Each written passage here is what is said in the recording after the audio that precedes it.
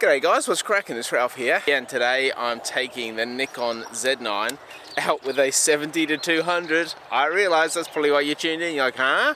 To shoot some eagles now, a bit of backstory, we've come down from Queensland to Victoria and I couldn't bring a lot of gear with me because it was just a family trip so I had to leave my 150 to 600 behind which means my biggest zoom lens is this.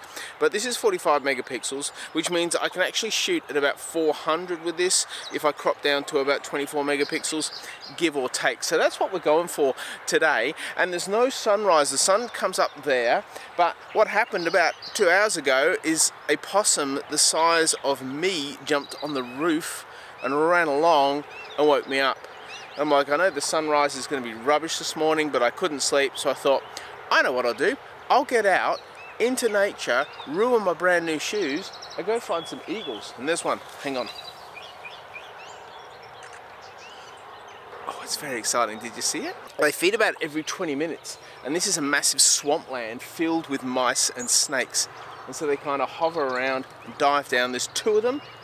I think they're hooked up. Not sure, but I think they are. Um, and they're playing around a little bit, but they're also dive bombing and smashing these animals and then taking them up.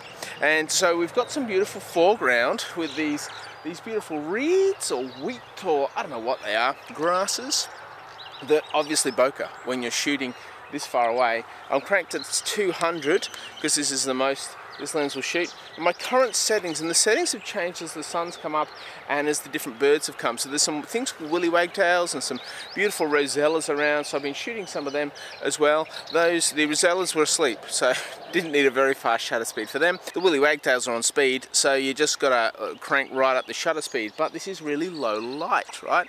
I know it looks fine for you, but it actually is quite low light. And so my current settings on the Z9 are 1 two thousandths of a second. I'm shooting at 2.8 because it's so far away. Whatever I get in focus, the whole thing's going to be in focus. Um, I've got the auto tracking on. So with this, there's a um, on AFC, so continual focus mode.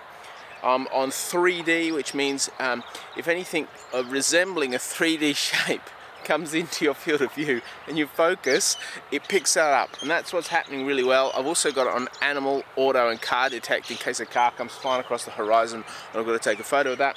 Um, and I'm using back button focus. So the back button focus really quickly zooms it in. And so what I do is as I see a bird, my first instinct is to hit the focus button, which turns the camera on. Because I reckon the camera, maybe every 20 or 30 seconds, and you can put this in the comments below if you know, um, puts it on a standby mode and standby mode's not real great. I wish you could just expand or despand the uh, had some control over the standby mode. Maybe you do. Maybe I just haven't found out how to do it yet. So have a look at these images. These were taken really early when it was really quite dark. And obviously you're balancing noise with focus with exposure on those wings and they're pretty much black silhouettes. I've done a little bit in post, but they're pretty much black silhouettes. I've then waited around 20 minutes and we had another go. This is what that looked like.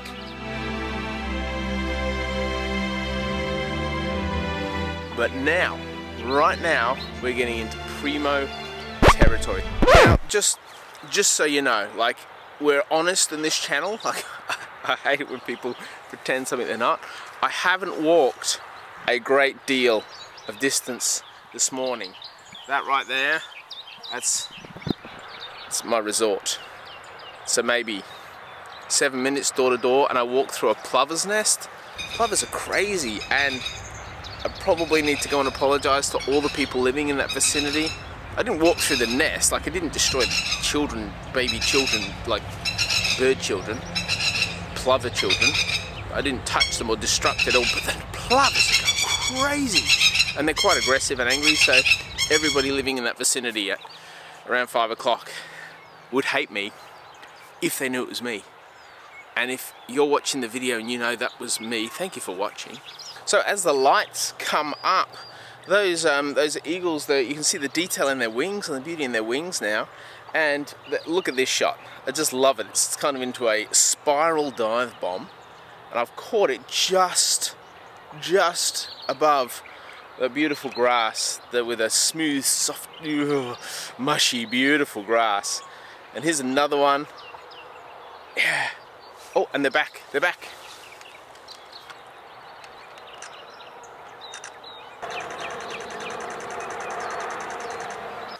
They're behind the tree. So I'm shooting at 20 frames a second. That's what that is going off at. And the tracking is amazing until they dip where the grass is. And then obviously the tracking can lose it. They swift and move and twist and turn. And as they do that, you just, you can lose it and pick up the grass instead. And there was this epic shot before. I should have just banged it on manual.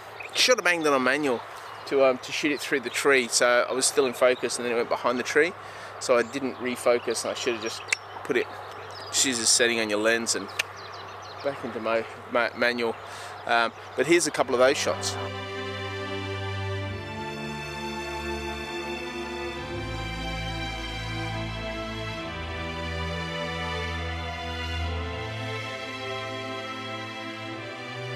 I'm not a birder or a bird photographizer, but I do love eagles. I think osprey must be my favorite raptor.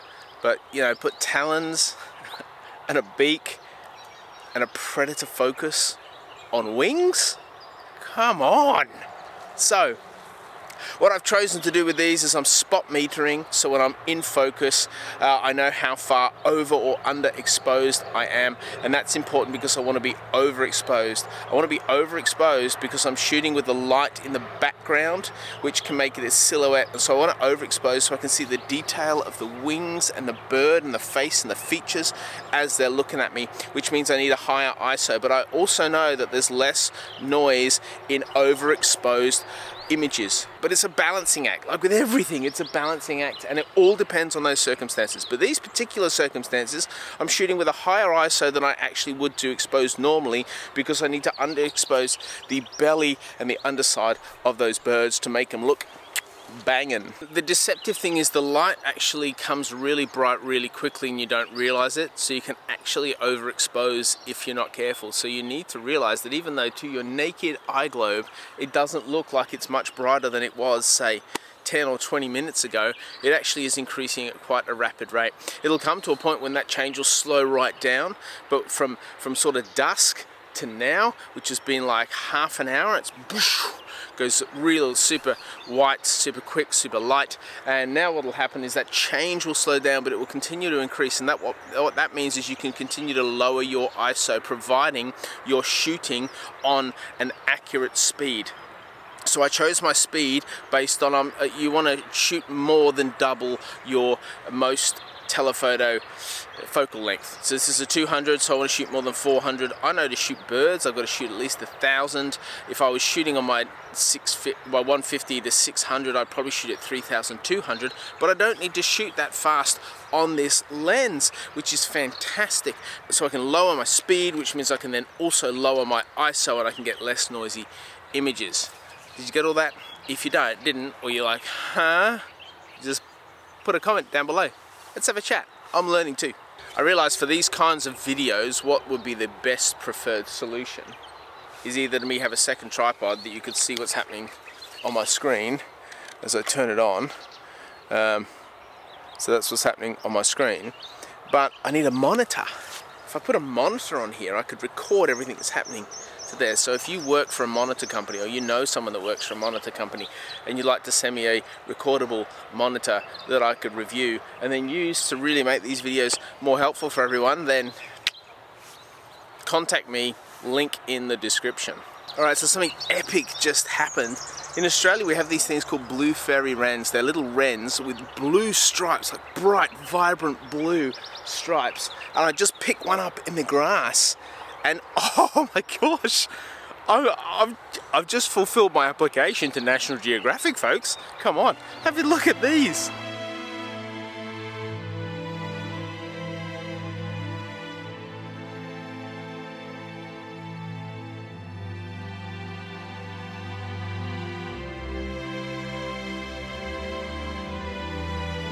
That is the beauty when you come out and you stand in one place for a couple of hours, things start to shift and happen. And if you've enjoyed this content, please subscribe.